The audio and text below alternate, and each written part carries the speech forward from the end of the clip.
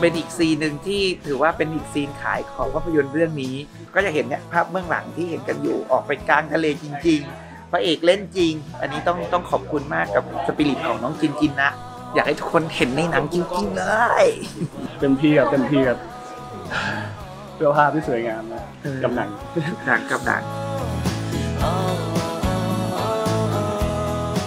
ภาพสวยมาก มีทั้งโดรนแล้วก็มีทั้งมุมกว้างนะโอ้โหหลายมุมเลยครับ ตอนแรกก็กังวลว่าจะสวยหรือเปล่า เพราะมันก็ได้เทคเดียวเนาะ เพราะว่าเดี๋ยวชุดเปียกครับผมก็ออกมาสวยงามครับ พึงพอใจครับผม ฝากติดตามด้วยนะครับ รักได้และอกครับผม